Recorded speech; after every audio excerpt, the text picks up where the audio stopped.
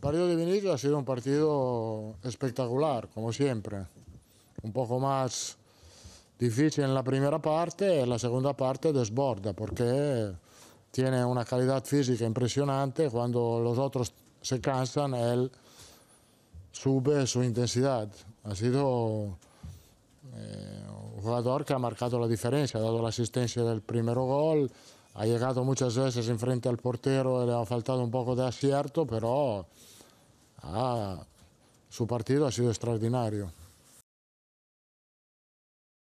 Yo creo, como he dicho, estamos bien, hemos tenido el, problema de la última hora de Chouameni, que ha tenido un problema de estómago, Tony ha vuelto a entrenar, creo que Karim eh, va a estar bien para el partido de martes, llegamos a, al partido de martes con una buena dinámica, tenemos algunos problemas, pero poco a poco los, jugadores van recuperando y creo que eh, llegamos al partido de martes con toda la confianza del mundo.